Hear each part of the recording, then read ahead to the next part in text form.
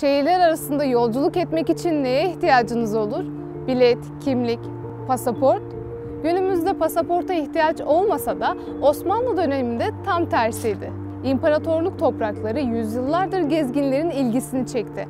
Ancak herkes elini kolunu sallayarak bu toprakları ziyaret edemezdi.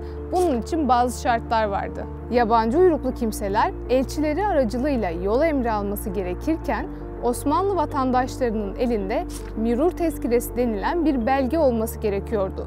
Bu belge bir iç pasaport hükmündeydi. İzin belgesinde seyahat edecek kişinin kim olduğu, nereye ne amaçla gideceği ve kaç gün kalacağının yanı sıra yaşı, boyu, göz rengi gibi fiziksel özellikleri de yer alıyordu.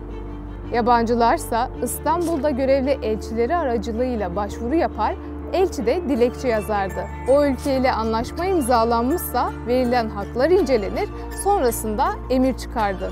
Bu uygulamanın ardında bölgedeki ani nüfus artışını engellemek, devlet güvenliğini sağlamak, kendini Müslüman olarak tanıtan casusların ülkeye girişini engellemek gibi sebepler yatıyordu.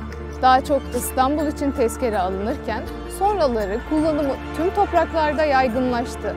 20. yüzyıla gelindiğinde ise uygulama ortadan kalktı. Ne dersiniz? Böyle bir uygulama günümüze uyarlanabilir mi?